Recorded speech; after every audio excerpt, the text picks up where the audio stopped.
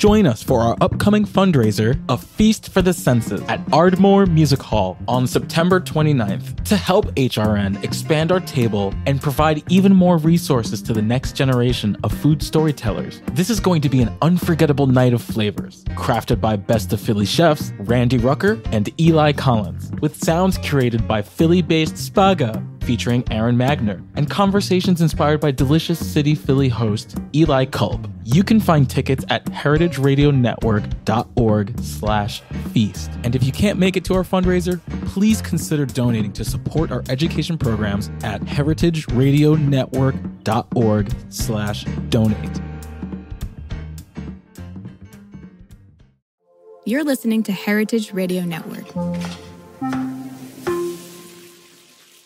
You've been hearing a lot about or reading a lot about Mezcal lately, it's because Mezcal is having a moment. So, what's the deal? Well, it's often handmade using pre industrial methods. It's not cookie cutter like so much of what we eat and drink these days. And when you taste it, if you know how to taste it, you'll recognize exactly that. Recognize the heartbeat that is the lifeblood of this movement. But the growing interest means to fulfill demand, corners are starting to be cut.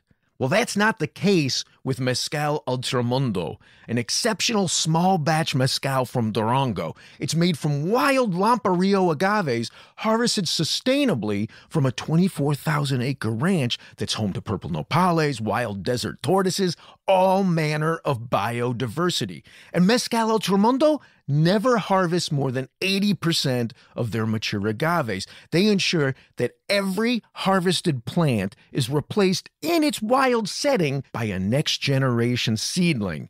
If you want to taste the wild deserts of Durango, Mexico, taste Mezcal Ultramundo and know that with every sip, you'll also be protecting those wild deserts.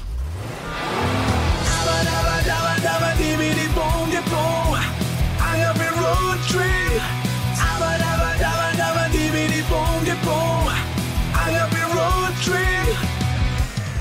Lou Bank. And I'm Linda Sullivan. And this is a Agave Road Trip, the critically acclaimed award winning podcast that helps Gringx bartenders better understand agave, agave, Agave spirits, spirits and rural Mexico. Thank you, Linda. hey, Linda. So, you know, I'm uh, scrolling through the Instagram, and my friend, uh, uh, Lady Agave, Miss Agave, Lady Agave. Oh, no. Sorry, I just saw the Deadpool movie, and I was thinking Lady Deadpool. Uh, Miss Agave um, had this, uh, uh, this. What do you call them? A reel? I A guess it's a reel. reel. Yeah. it's a reel. A little What do you kids call them? So Reels. It's, it's it's also didn't she do? It's like a stitch too because she was commenting on another video. Oh man, so I don't know. two videos, 2 We're- reels. we're not here to talk It about technology. anyway, um, and the whole point to it was uh, that she is annoyed with this uh, this thing that keeps popping up where people say that mezcal is smoky tequila. Yeah, she's not happy about that. She's not happy about that, and um, and I I have I have to disagree with her. I think that uh, that mezcal is smoky tequila. Lou Bank is here to disagree with some sort of philosophy or statement. What's happening? yeah, I know, right? The great contradictorian. Wait, did I do that right? Ooh, if it's a new word, contrarian. That's I- it. The great I contrarian. There we are. The great contrarian. Um. So my premise is that in fact mezcal is smoky tequila. I want. I before we get into it, I want to know where do you stand, Linda? I mean, it's all there. So I'm not. I beat what I. okay, touche. Called out. Um, I, it doesn't feel all that important to me because I think that they are just tools to try and help folks understand what's happening in that category. So I'm not really mad at anyone. I'm not going to be the great contradictarian in this one, but as always, I'm curious. Yeah, there you go. I like that. So you know, I I'm looking at the numbers. There's a new COMERCAM report out. Have you seen it yet? I have not. So there's a new COMERCAM report out. That's the one of the regulatory bodies uh, that uh, certifies mezcal. I believe they're they're still the biggest. Um, and it is their report as to how much mezcal was made and sold and exported um, in 2023. And How, in- how are we looking? uh, a little down. Oh, really? Yeah. We got to get to sipping. Shoot. That's right. People aren't aren't drinking enough of the smoky tequila. So um, it says that uh, 12.2 million liters, which is you know a little down from the previous year, 22, uh, 12.2 million liters were produced in 2023. Now, 86 percent of that it was made using espadín, and that that goes up to 89 percent, just shy of 90 percent when you're looking at espadín plus another agave, right? And Oh, like a blend, you mean? yeah, Espadín and any other varietal together? yeah. Okay. You you know, we've got some friends who put that into a bottle and they sell it to bars across the country, They across do? the globe. Mm-hmm. Yeah. And when I hear that, like I'm not saying that all espadín is made for cocktails, but I'd argue most of it is. Mm-hmm. I think so too. And I would also argue, um, and I, I hope our uh, mutual friend Milena doesn't get mad at me for saying this. I'd also argue that the vast majority of the mezcals that are made from espadín for cocktail use are intentionally smoky, like big smoky. Yes, I also think that's true. Yeah, because when you put it into a cocktail, and the vast majority of people in the USA are drinking their mezcal in cocktails, Mhm. right? Yep.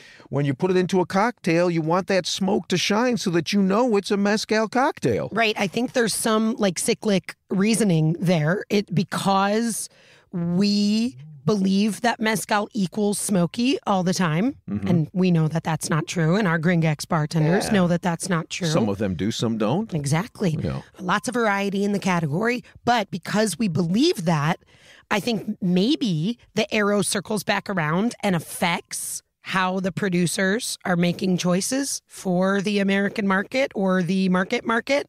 Yeah. Question oh, mark, right? Oh, I We- would say absolutely. Everyone thinks mezcal is smoky, so I'm going to make my mezcal big and smoky to match the expectation that is just swimming out there. Yeah, I mean, you're saying the producers. I'd actually say the brands. The brands, but- yeah, is is more accurate. Right. So now imagine uh, you are that that uh, that unicorn. I guess snow leopard because unicorns don't exist. You are that snow leopard of a uh, of a drinker, and you wander into a bar and you you have had your mezcal cocktail, but now you want to try it neat. hmm What does that bar have to serve to you? Depends on the bar. It- it- that's exactly right. Right. And, and, Often- and, and and if I am that snow leopard, do I even know how to find the bar that's going to have? A, do I know how to find a bar that has a broad selection? B, do I even understand that there is such a thing as a broad selection? No, no, most of you don't. We're sad little snow leopards.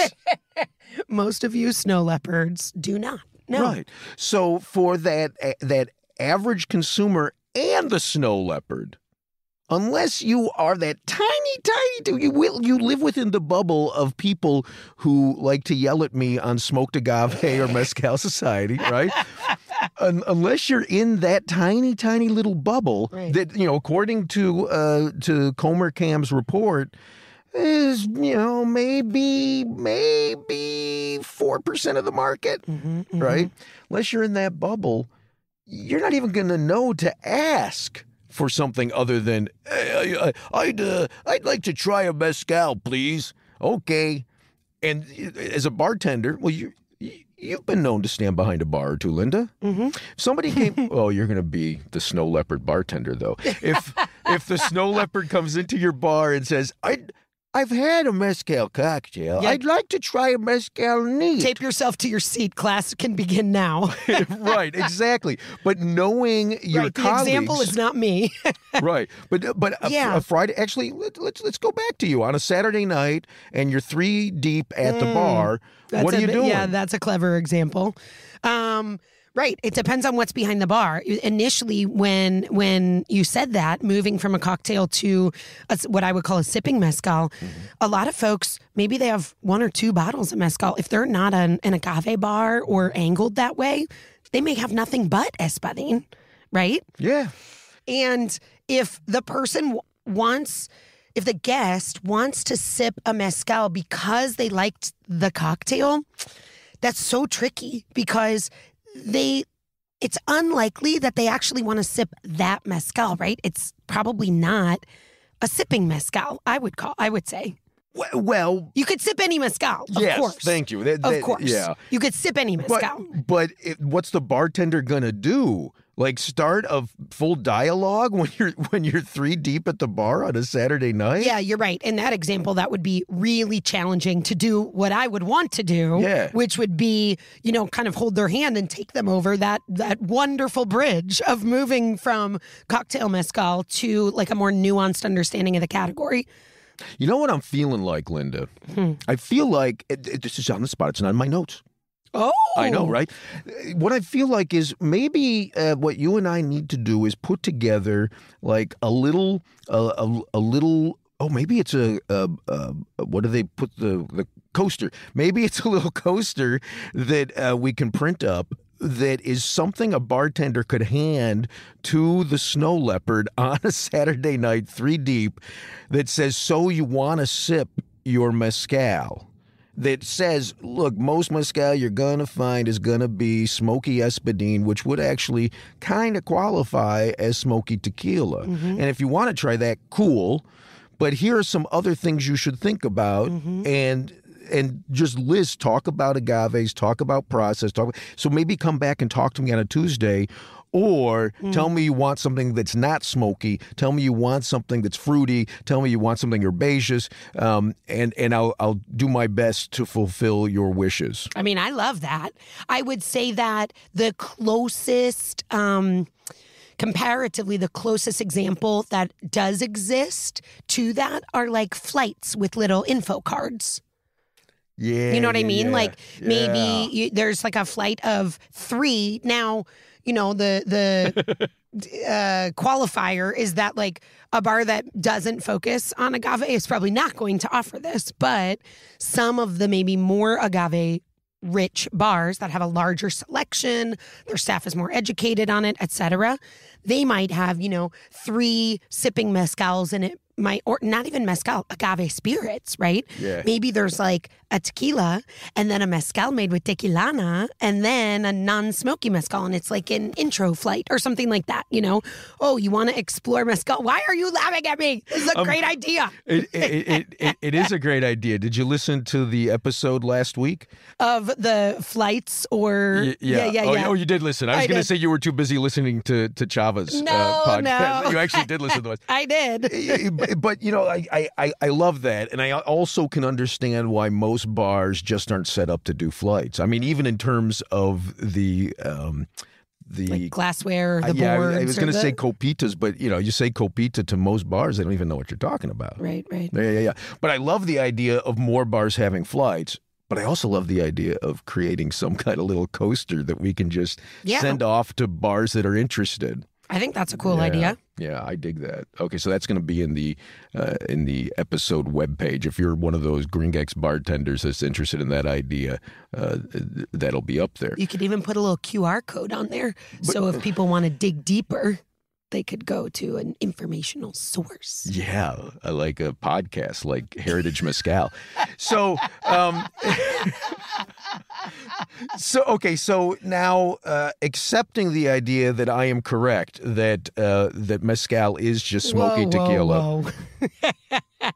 okay. Okay, uh, so what what what is another way that you could describe the opportunity to taste a mezcal that isn't smoky tequila?